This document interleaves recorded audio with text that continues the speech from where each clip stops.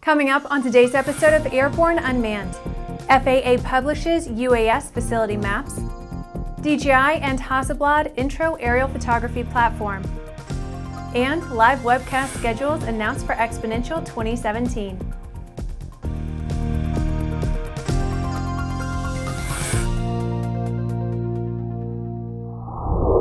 Hi, I'm Bree Cross. Welcome to the Aero News Network's Airborne Unmanned program, a weekly news program covering all things unmanned in partnership with AUVSI.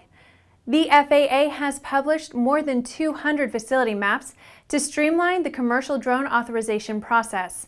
The maps depict areas and altitudes near airports where UAS may operate safely.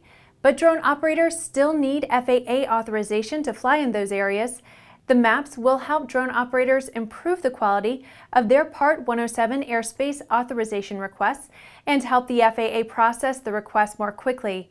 The maps are informational and do not give people permission to fly drones. Remote pilots must still submit an online airspace authorization application. Requests to operate in these areas will require further coordination and FAA safety analysis. Remote pilots can refer to the maps to tailor their requests to align with locations and altitudes when they complete airspace authorization applications. FAA personnel will use the maps to process Part 107 airspace authorization requests. Altitudes that exceed those depicted on the maps require additional safety analysis and coordination.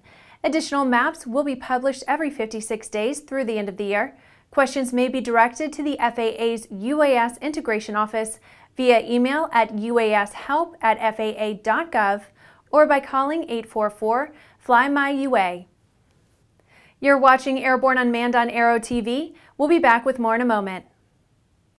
Hi, I'm Brian Wynn, President and CEO of AUVSI, inviting you to witness the evolution of unmanned technologies at AUVSI's Xponential 2017 on May 8th through the 11th in Dallas, Texas.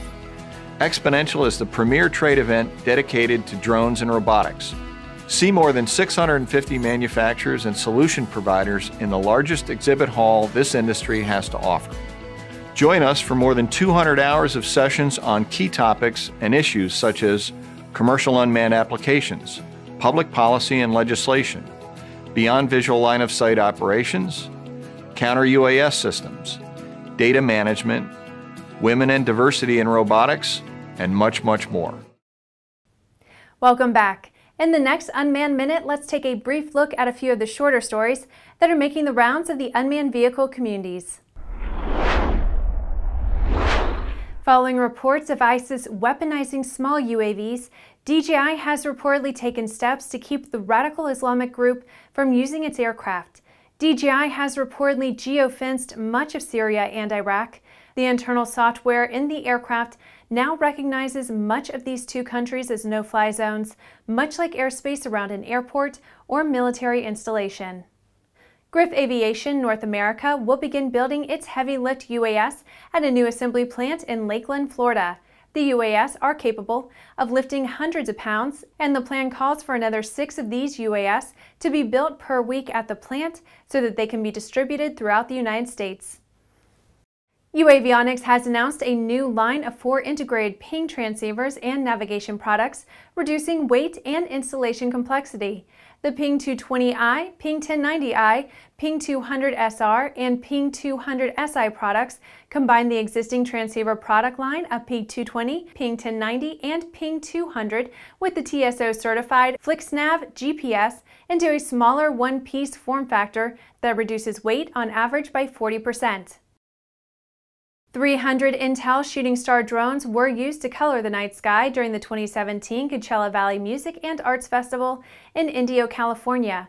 The UAS initially took the shape of a Ferris wheel, and then they created a rotating windmill, palm trees, and other colorful 3D animated objects.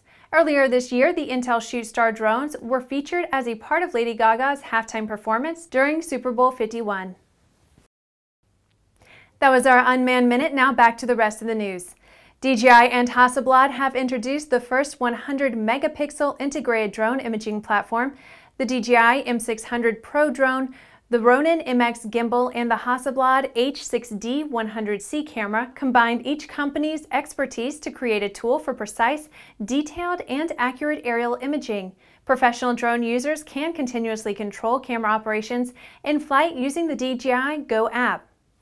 The flight platform is the DJI M600 Pro drone, a six-rotor flight platform equipped with the powerful Lightbridge 2 transmission system, a dust-proof propulsion system, and six intelligent flight batteries.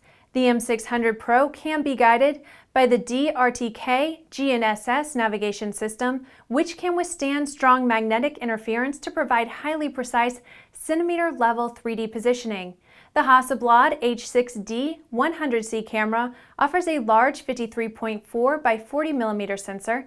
The camera mounts on the drone through the Ronin MX 3-axis stabilized gimbal, which uses powerful motors and inertial measurement units to resist high g-forces, maintain stability, and hold the horizon. The M600 Ronin MX H6D 100C platform is the latest product collaboration since DJI assumed a stake in Hasselblad in late 2015, allowing the companies to explore fruitful collaboration on their advanced technology. Their first joint product, released in July 2016, combined the M600 drone platform with the A5D medium format camera. AUVSI and our Airborne Unmanned Program production team have finalized the schedule for their live interview program series for Xponential 2017, set from May 8th through the 11th in Dallas, Texas. The broadcast will be conducted, shared, and viewed online as a live webcast as well as archived for future viewing and use. Following extensive coverage and archiving of the opening day's festivities, the Airborne ANN crew will conduct multi-hour live interview programs on May 9th between 1200 and 1500 CDT and 1000 to 1300 CDT on May 10th. Each session will consist of over a dozen 10 to 15 minute interviews with the best and brightest of Xponential 2017, offered live via airborne-live.net and also capable of being included or embedded on web pages throughout cyberspace. A strong social media program will support the effort via hashtag XPO17-Live. AUVSI and ANN are building a guest and interview topic list now. Suggestions for the program are welcome and may be submitted via jim at aero-news.net. In addition to the live broadcast, ANN will unveil AUVSI's first Xponential Innovation Preview, in which some of the most promising companies and technologies will have a chance to offer an advanced look at the extraordinary news to be made at Xponential 2017. Well, that's our program for this week. In addition to this program, our daily Airborne Unlimited episodes covering the entire aviation and aerospace world are streamed Monday through Friday. Don't forget to subscribe, like, and tweet us. Get comprehensive real-time 24-7 coverage of the latest aviation and aerospace stories anytime at aero-news.net and more information on the innovative world of all things unmanned at auvsi.org and airborne-unmanned.net. We'll see you next week.